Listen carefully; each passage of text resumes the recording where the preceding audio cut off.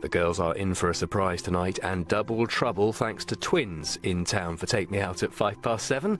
That is going to be a surprise. Right now, this Saturday evening, the latest ITV News.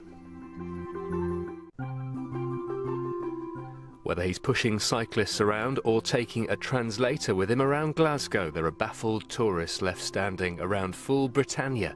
In half an hour, Dom Jolly's on a mission after new You've Been Framed.